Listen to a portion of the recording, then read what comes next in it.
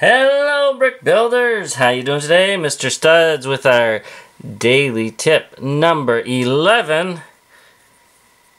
I want to talk about these things right over here. And if you watched our daily tip number 10, you will know that these are called brackets.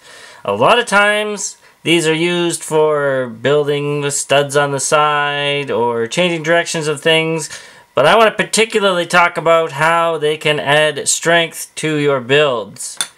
And being able to do so with disguising them. So, if you take these two together, and you take a tile, notice that they line up just ever so perfectly. One of the wonders of the Lego building system. So, if we take a couple of bricks and a plate, and I think another plate for 8 plate thickness, and we line those up, Look at that. Now, we put a tile on there, and that is locked tight. Well, locked tight in one direction. You will see that it will snap apart. So, the best thing to do in this instance, if you don't want that wall to break apart, is put one on the other side and do the same thing. Lock it down and now we have two sides of that wall that have very little give. Alright, and you can disguise these. And I will show you that right now.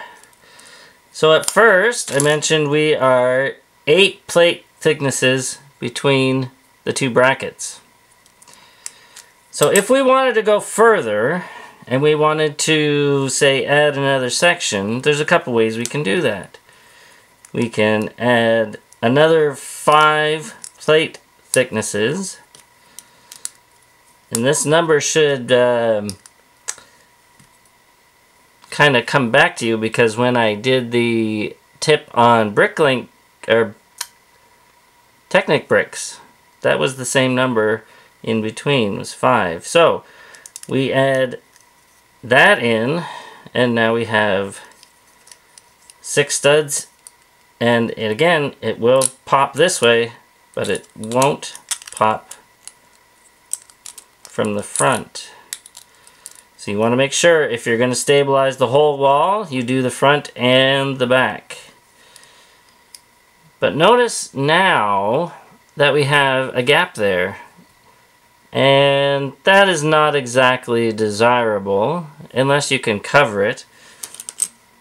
A real quick way to cover it is to take a couple of these brackets that are just one thickness down and put them across and then you could build something across that way. And I'm going to show you one more which is if we go to 8 and if we go to 8 we don't, I mean 8 studs down We'll grab this, we'll put that on again. And we don't want that gappiness. We're going to try to get rid of that. So we put that in there, that flushes that up. And we'll put that, oops, sorry. I forgot my other, there we go. We put our other bracket back to back, and these will line up just like so, okay? So we have a top bracket and a bottom bracket, and we're going to put this one on here. So then we put in two plates. We add our bricks, a couple of plates again. And like so. So that sets us eight across. And again, this is just two sections kind of put together. Okay. And then we can take an eight long plate and put that on. And this is where you can really start doing some fun stuff.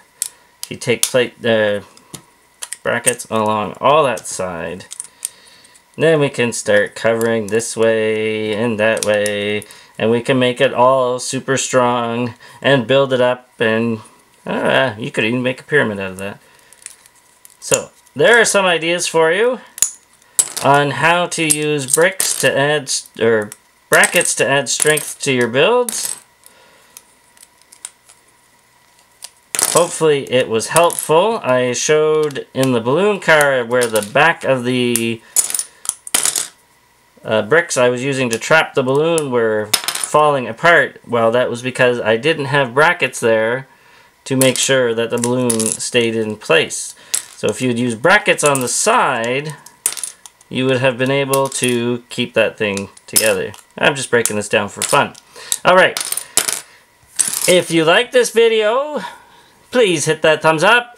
Thank you to all people who like, subscribe, and share it. Please keep doing so. We have a Patreon account, so if you want to see more of these videos and you want to see the quality improve, please consider going and pledging support to us on Patreon. Thank you so much. Keep dreaming in bricks. Bye-bye.